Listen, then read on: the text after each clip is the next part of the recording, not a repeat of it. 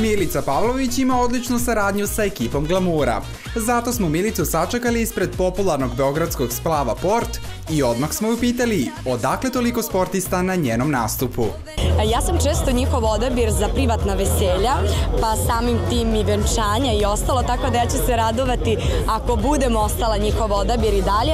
A što se mene lično tiče, ako je neki slobodan, uz to simpatičan, sladak, interesantan, pametan, može slobodno da se javi. Milica ističe da sama jako dobro zarađuje, pa smo je pitali zašto živi sa cimerkom. U toku jedne godine, ajde uzmimo takav primer da nije nje e, koja se nađe pored mene i koja zaista uskače u svim onim momentima kada pomislite da vam treba e, više od 24 sata i, i prosto da vam sve proleti. Ona je fantastična. Sa ponosom ističe da ulaže puno u svoju karijeru i da su njene pesme veliki hitovi. Pa je logično pitanje da li je ona seksi senjorita ili boginja. Pa i jedno i drugo, tražim e, treći nadimak. Znači moram da smislim sad na trećem studijskom albumu uh, još jedan nadimak. Ubija me taj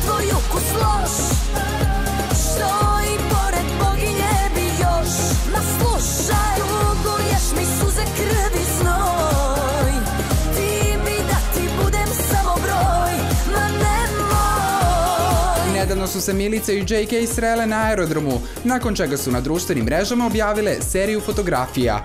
Te fotografije izazvale su lavinu komentara. Između ostalog, jedan od komentara je da je ovim činom Milica stavila tačku na druženje sa Cecom Ražnatović.